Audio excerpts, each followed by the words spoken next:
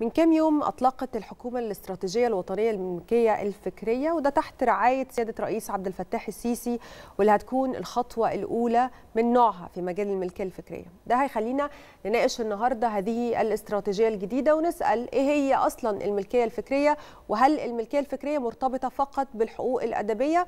ولو أنا مستثمر إزاي أقدر إن أنا أستفيد من هذه الاستراتيجية؟ أسئلة كتيرة في الحقيقة عايزين نجاوب عليها النهاردة وهتنورنا منورانا في الاستوديو ضيفتنا الدكتورة نورهان موسى الباحث في الملكية الفكرية بالمعهد القومي للملكية الفكرية والباحث في الأمن السبراني بالجامعة البريطانية ومركز دعم واتخاذ القرار برئاسة مجلس الوزراء. جاوبينا على أسئلة كتيرة قوي دي يا دكتور. إزاي حضرتك؟ إيه، تمام. صباح الخير. منورانا ربنا يخليك. قبل أي حاجة خالص خلينا نبتدي من آه، البداية. إيه هي الملكية الفكرية؟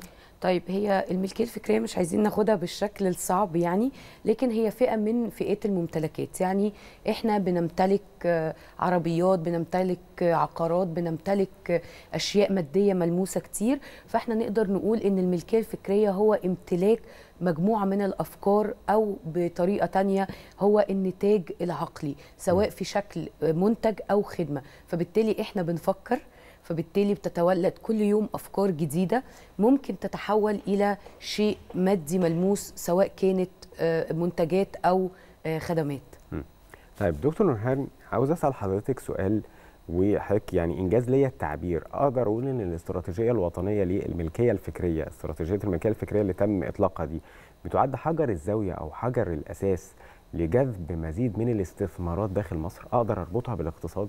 هو هي فرشور مربوطة بالاقتصاد مفيش كلام لأن إحنا زي ما كنا بنقول إحنا لما بيكون عندنا مجموعة من الممتلكات و فدي فلوس. صحيح. آه إنما لما أنا باجي أتكلم عن الملكية الفكرية فأنا بتكلم عن آه الاقتصاد الإبداعي. أو الاقتصاد المعرفي اللي هو برضو بيدر آه أموال. واستثمارات. إنما آه خليني أرجع للنقطة اللي حضرتك أشرت إليها وهي إطلاق الاستراتيجية. هي إطار ال- الاستراتيجية هو الإطار العام ومجموعة السياسات. وفكرة إن أنا أتبنى أو إن الدولة المصرية النهارده تتبنى برعاية السيد الرئيس عبد الفتاح السيسي وجود استراتيجية بهذا الشكل وفيها آه، مؤشرات محددة ده شيء نقدر نقول عليه جديد على مصر وفي نفس الوقت مش جديد. بمعنى إيه؟ إن مصر كانت من الدول الرائدة في مجال الملكية الفكرية صحيح. عندنا قوانين من الثلاثينات قعدت طبعا عندنا مجموعة من التعديلات لغاية قانون 82 لسنه آه، 2002 إنما فأنا هنا أنا وحدت الجهود. يعني أنا كان أنا عندي. تسع وزارات بتتحدث باسم الملكية الفكريه. النهارده أنا وحدت الجهود دي في كيان واحد. بالظبط. هو ده نقطة من النقط اللي قايمة عليها الاستراتيجية هو إن أنا أبعد عن التشتيت المجهود والتش... والتشتيت المؤسسي. فبالتالي واحدة من النقاط المهمة جدا في الاستراتيجية إن أنا يكون عندي كيان موحد.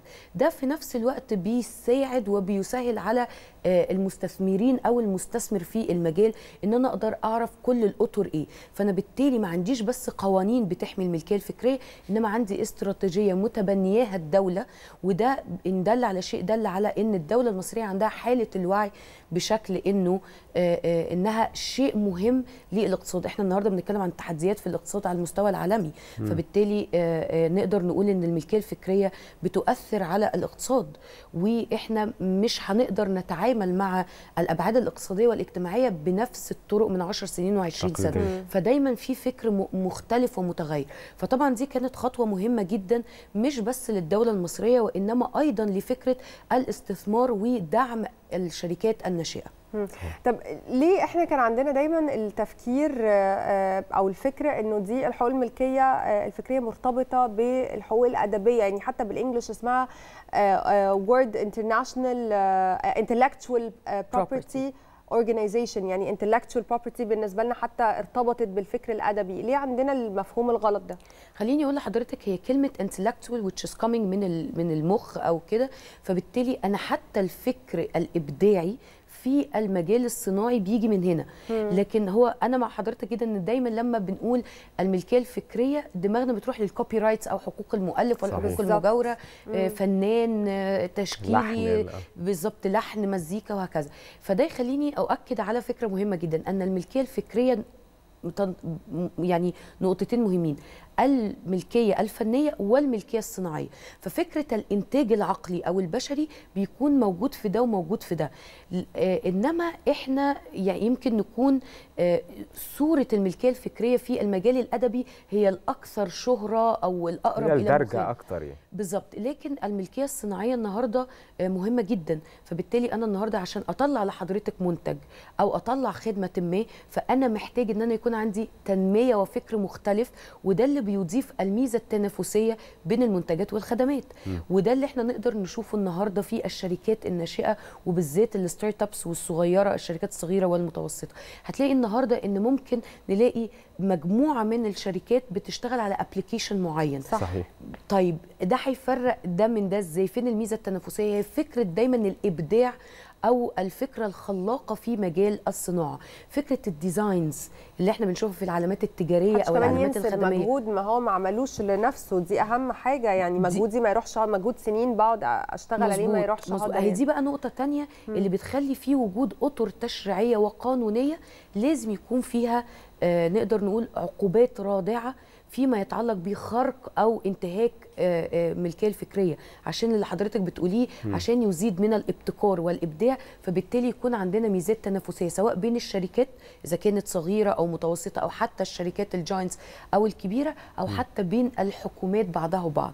طيب هنا حضرتك اتكلمتي على الجزء الخاص بال startups واتكلمتي على ال technology أكتر وإزاي الملكية الفكرية أو الاستراتيجية آه، اللي أطلقتها مصر منذ آه، يومين تحديدا آه، بتحمي يعني هذه الفئة ممكن نقول اللي هي لسه بتبتدي إن هي تشتغل. مظبوط. لكن عاوز أعرف على جانب آخر إزاي بتقدر برضو الملكية الفكرية تحمي آه، أصحاب العلامات التجارية الكبيرة اللي بتيجي تستثمر في مصر. مظبوط. يعني كيف تحمي الملكية الفكرية المستثمرين وتجذب رؤوس أموال. مظبوط. هي الفكرة كلها إنه في فكرة الجذب نفسه أقدر أقول إنه طول ما الدولة اللي أنا هروح أستثمر فيها أو هكون بعمل فيها اكسبانشن أو ب- ب- بوسع. فيها. آه، لازم يكون فيها نوع من الأطر القانونية اللي تقدر تحميني. وده لو أخدناه على صعيد تاني في الاستثمار بشكل عام. هتلاقي إن حضرتك علشان تقدر تقول أنا كمستثمر في أي مجال من المجالات إذا كانت صحة تعليم آه، سياحة ايا كان المجال بتبقى حضرتك محتاج إنك تروح في دولة فيها أطر تشريعية واضحة وصريحة لحمايتك علشان أقدر أدق. مبالغ ورؤوس أموال. نفس الفكرة بالنسبة لقوانين الملكية الفكرية لازم يكون تكون الدول ب عندها نقطتين. النقطة الأولانية إن يكون في قوانين وطنية بتحمي الملكية الفكرية بشكل واضح ودايما متجددة نظرا للتطور المتغيرات اللي الفظيع. في التكنولوجيا طبعا. تاني حاجة لازم تكون الدول دي على قدر من التعاون الدولي. فعلى المستوى الدولي بنلاقي الدول آه، آه، بتدخل في اتفاقيات دولية. لأن إحنا النهارده عندنا بنتكلم على الانضمام للمنظمه الدولية للحقوق إحنا عندنا طبعا الفكرية. اللي هي من- المنظمة العالمية لحقوق الملكية الفكرية اللي هي الوايبو ده طبعا مصر منضمة من أوائل الدول اللي انضمت. ليها وإنما في المقابل برضو بتتولد كل يوم مجموعة من الاتفاقيات الدولية والأعراف الدولية. فهنلاقي مصر انضمت إلى العديد من الاتفاقيات ونأمل في المزيد منها. آه، ولازم ده يكون متماشي مع القوانين الوطنية.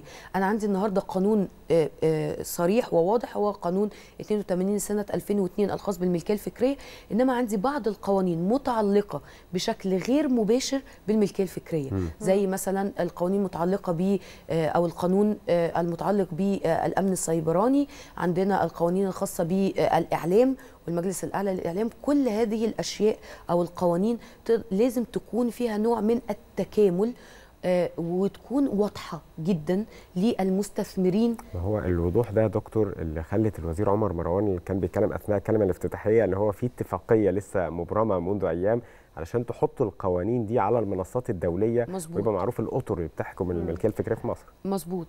طيب دكتور إحنا عايزين نتكلم عن أهداف يعني لو في أهداف محطوطة واضحة جدا للاستراتيجية آه، الوطنية للملكية الفكرية إيه هي الأهداف دي؟ عايزين نفهم المشاهدين إيه هي. هي طبعا في ركائز مهمة جدا. أولها فكرة التشتت المؤسسي اللي إحنا كنا بنتكلم عليه من شوية. فإحنا قلنا إن إحنا النهارده بنتكلم إن في مجموعة من الوزارات متعلقة بشكل مباشر وغير مباشر بالملكية الفكرية وعندي 11 مكتب النهارده يعني ليهم تواصل مباشر مع الملكية الفكرية في فكرة الحماية والتوثيق والتسجيل.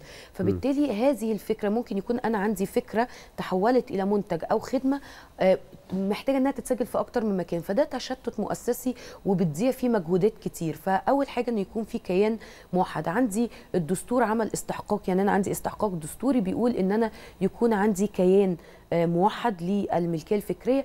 فبالتالي تمشيت الاستراتيجية الوطنية اللي الدولة المصرية تبنتها مع هذا الاستحقاق الدستوري. عندي النقطة الثانية هي مهمة جدا جدا جدا هي رفع الوعي م. زي ما حضرتك كنت بتتكلمي تقولي إحنا ليه ارتبطت فكرة الملكية الفكرية بحقوق المؤلف أو ال copyrights فبالتالي لا ده أنا عندي الملكية الفنية والملكية الصناعية زي ما كنا بنتكلم فبالتالي رفع الوعي لأن أنا ممكن مش بس كمستثمر أنا ممكن أكون أنا صاحب الفكرة وصاحب المنتج أو صاحب الخدمة. أنا اللي ممكن أفسد فكرة الحماية. يعني أنا ممكن في بعض الممارسات تكون خاطئة. فبالتالي أنا محتاج أرفع الوعي م. سواء بالنسبة للمبتكرين م. أو أصحاب الأفكار المتميزة في إن هم يقدروا يدخلوا السوق. هدي حضرتك برضو مثال مهم جدا. هنلاقي إنه يوم 26 إبريل على سبيل المثال هو اليوم العالمي للملكية الفكرية. هنلاقي إنه العالم كله بيحتفل بيه. آه السنة اللي فاتت اللي هي 2021 الثيم أو الطور العام بتاع اليوم ده كان بيتكلم عن الشركات الناشئة آه نقل الفكرة إلى السوق. نقل الأفكار إلى السوق. وده كان توجه مهم جدا من الوايبو. ليه؟ لأن أنا النهارده ممكن يكون إحنا عندنا أفكار بنقعد نتكلم فيها الوايبو اللي هي المنظمة الدولية للملكيه الفكريه, الفكرية.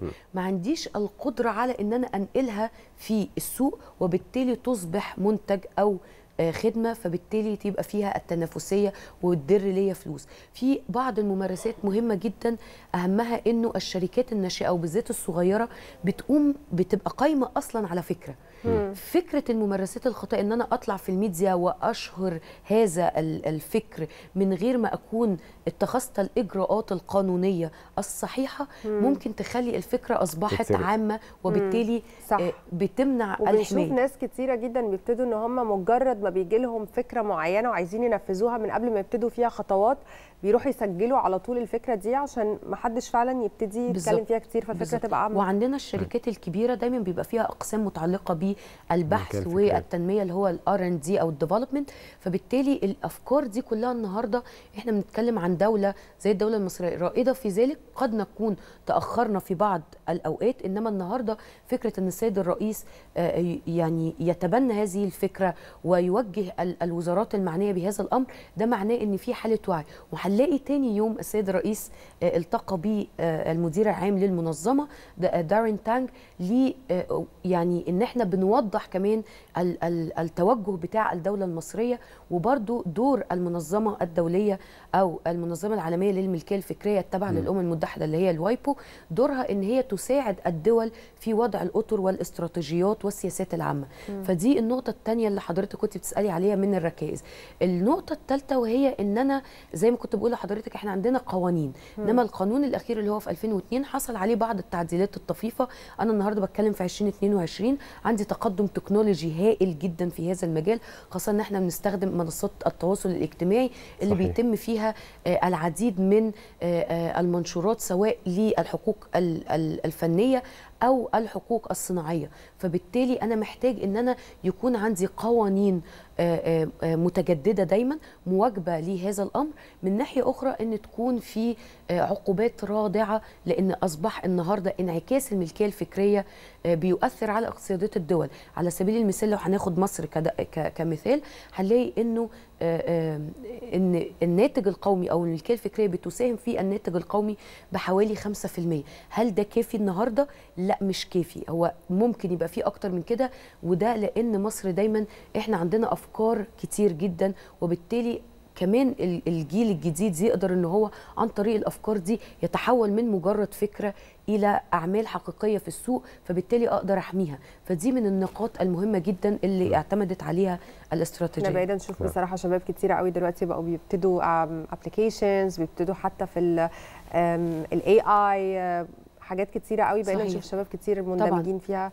بشكل كبير ف صحيح يعني. ال artificial intelligence ال AI النهارده بيلعب دور مهم. يعني أنا يعني لو حضرتك نشوف فكرة التكنولوجيا مع آه، فكر الملكية الفكرية لا النهارده أصبحت الأمور أكثر. تداخلا. فبالتالي أنا مصر فيها قوانين طبعا متعلقة بهذا الأمر إنما أنا برضو محتاج دايما يكون في نوع من التكامل في هذا الأمر. من ناحية من ناحية تانية تكون ال ال القوانين فيها نوع من الوضوح. فبالتالي طبعا على ال السلطة التشريعية دايما إن هي تنظر إلى هذه المواد بشكل يكون أكثر فاعلية تساعد السلطة التنفيذية في إن هي تاخد خطوات في التنمية وده اللي الدولة المصرية صحيح. بتقوم بيه النهارده. دكتور نورهان يمكن كان أول تطبيق حقيقي يمكن من الثلاثينات كانت مجرد قوانين وتحرك منفرد للدول المتقدمة تحديدا في محاولة منها اللي هي تحمي حقوق الملكية الفكرية لشركاتها تحديدا. صحيح. وفي 95 شفنا يعني أول ظهور عملي على الأرض للملكية الفكرية كان من الولايات المتحدة الأمريكية. صحيح. ومصر كانت بتجتهد إن هي يكون عندها ده زي ما حضرتك قلتي من التسعينات من انضمامنا للمنظمة العالمية للملكية الفكرية. وأيضا في 2001 كان في محاولات لإطلاق هذه الاستراتيجية لكنها يعني فشلت. وفي عهد السيد الرئيس عبد الفتاح السيسي كان في إرادة حقيقية إرادة سياسية تؤمن بالملكية الفكرية وضرورة حماية الملكية الفكرية وتم إنشاء الملكية الفكرية أو إطلاق الملكية الفكرية. إيه اللي إحنا افتقدناه أو إيه الآثار اللي إحنا ما انعكستش علينا خلال الفترة دي من خسائر اقتصادية؟ آه يعني هاخد ده بمثال من آه زي ما حضرتك أشرت الولايات المتحدة. هنلاقي الولايات المتحدة الأمريكية كانت فعلا رائدة وبتجري وبتتصارع في إن هي تحمي شركاتها. ليه؟ علشان يكون ليها هي الحق. لأن الفكرة كلها أنا لما يكون عندي فكرة تتحول إلى منتج فأنا بقيت أنا صاحب الشيء. بمعنى إحنا كنا بنتكلم ان الملكية الفكرية عبارة عن آآ آآ فئة من الممتلكات. صحيح. فالنهاردة البادل مع حضرتك حضرتك المسؤول عنه وبالتالي هو ملكك ولا يجوز لأحد استخدامه إلا عن طريق تصريح من حضرتك أو الموافقة. م. هي نفس الفكرة. أنا ما يكون عندي فكرة أخذنا بقى كل الإجراءات وسجلناها وبالتالي أصبح شيء ممكن ينتج. أنا اللي أدي الحق لحضرتك. يبقى أنا عندي حق استئثاري وحق إن أنا أدي حضرتك ترخيص أو موافقة على ده. فبالتالي هذه الشركات هي أصحاب الفكر وبالتالي أنا أدي من أريد واللي أنا شايفه إن هو ممكن اديله حق الترخيص أو المزاولة أو إن هو اديله موافقة على إن هو هيبقى ممكن على يعمل ده. الابلكيشن موبايل برضو؟ كل ده يعني على لو أنا صاحب. application mobile وحد عاوز يعمل حاجة شبيهة هيروح لصاحب الفكرة الأساسية ياخد منه ترخيص؟ لا دي نقطة مختلفة. بمعنى إيه؟ أنا ممكن يكون عندي application بفكر معين تمام؟ وحضرتك عندك application بفكر معين. لازم يكون في نوع من الاختلاف. م. و- والاختلاف ده يكون فيه جدية وبالتالي أنا أقدر أقول لكن لو هاخد ده على سبيل المثال على الدواء أو على منتج عشان مم. يبقى أسهل آه، هلاقي إن أنا لو أخدت نفس ال ingredients أو كل ال ال ال ال المواد الفعالة. المواد الفعالة أو المواد المستخدمة أو شكل ال- المنتج بالظبط. أنا هنا عملت خرق للملكية الفكرية. أنا أخدت فكرتك وأخدت المنتج ده ورحت عملته زي ما بنقول عليه copy paste أو زي ما أنا كده إيه آه، حضرتك أخدتي صورة بالكاميرا بتاعتك وحضرتك مصور. فأنا أخدتها عملت لها شير أو ابتديت أستخدمها على كفر لالبوم معين أو على آه، كتاب معين. هنا أنا عملت خرق للملكية الفكرية في إن أنا استخدمت الشيء اللي هو مش ملكي. زي بالظبط إن أنا آخد م- يعني أكسر عربية حضرتك وأخدها وأمشي. هي نفس الفكرة. فخليني أرجع أقول لحضرتك إن الولايات المتحدة قامت بده من هذا المنطلق. وكل ما كانت زي كنت بقول لحضرتك الميزة التنافسية. كل ما كان أنا النهارده بشتغل على فكرة البحث والتطوير والابتكار كل ما أنا هيكون عندي ميزة تنافسية في المنتج أو الخدمة. فبالتالي أنا اللي أكون سباق. أو صحيح. أسرع.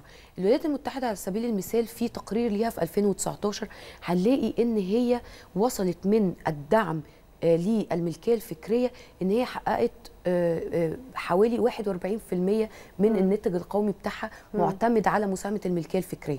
ده جاي منين؟ جاي من الدعم سواء الدعم الدولة أو الأطر القانونية أو زي ما كنا بنقول المستثمرين في هذا الأمر النهارده شايفين الدولة المصرية بتتخذ إجراءات أو خطوات حقيقية.